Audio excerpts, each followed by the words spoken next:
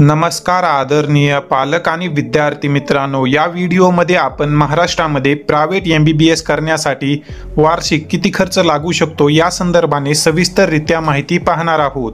महाराष्ट्रातील अनेक विद्यार्थ्यांचे प्रश्न येत होते की आमचे वडील शेतकरी आहेत.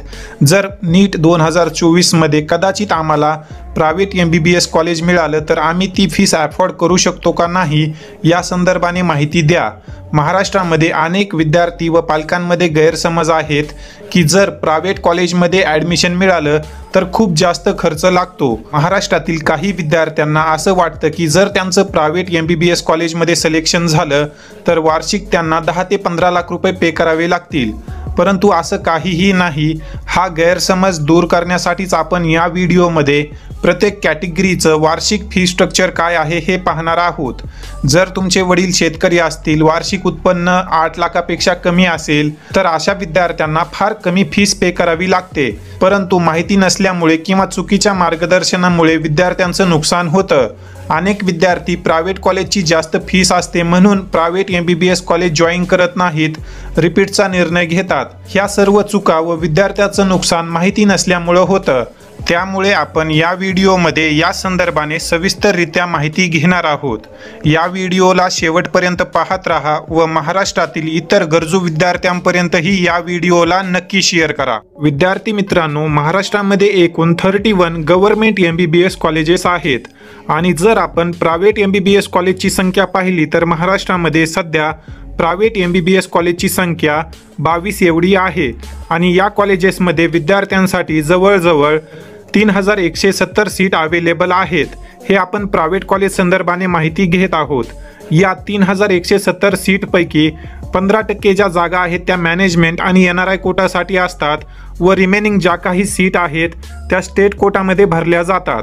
तर ज्याही विद्यार्थ्यांचं स्टेट कोटामार्फत या private M B B S कॉलेजमध्ये सिलेक्शन होईल अशा विद्यार्थ्यांना वार्षिक किती फीस पे करावी लागेल हे आता आपण पाहूया. तर विद्यार्थी मित्रांनो या ठिकाणी आपण एका कॉलेजचं उदाहरण पाहणार आहोत.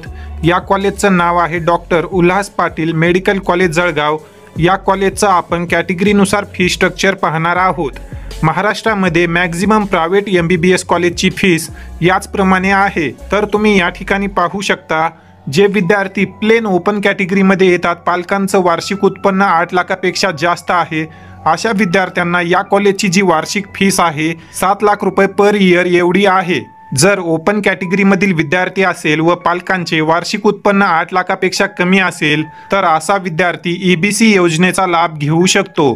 या ठिकाणी आपण पाहू शकतो ई बी सी म्हणजेच जे विद्यार्थी इकॉनॉमिकली बॅकवर्ड क्लासमध्ये येतात पालकांचे वार्षिक उत्पन्न आठ लाखापेक्षा कमी आहे वडील शेती करत असतील तर अशा सर्व ओपन कॅटेगरीमधील विद्यार्थ्यांना देखील फीसमध्ये सवलत मिळते.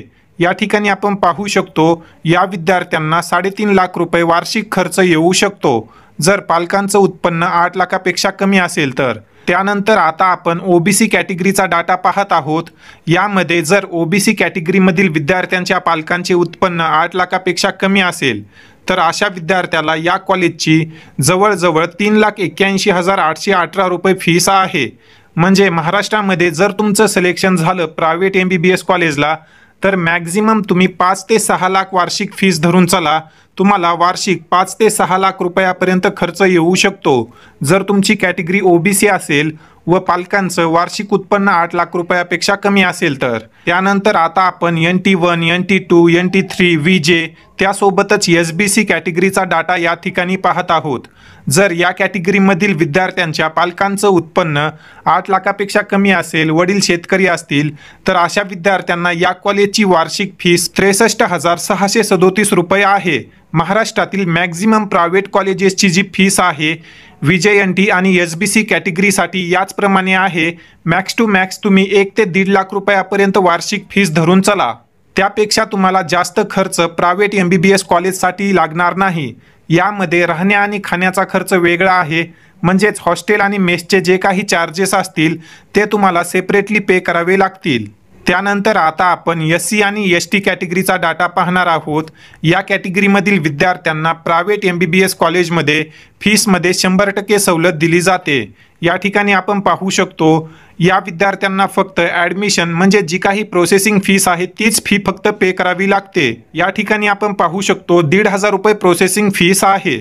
तर अशा प्रकारे आहे हे महाराष्ट्रातील private M B B S कॉलेजेसचं fee structure जर तुम्ही ओपन कॅटेगरीमध्ये येत असाल तर तुम्हाला साधारण सात ते दहा लाख रुपयापर्यंत वार्षिक खर्च येऊ शकतो. जर तुमचं वार्षिक उत्पन्न आठ लाखापेक्षा जास्त असेल तर.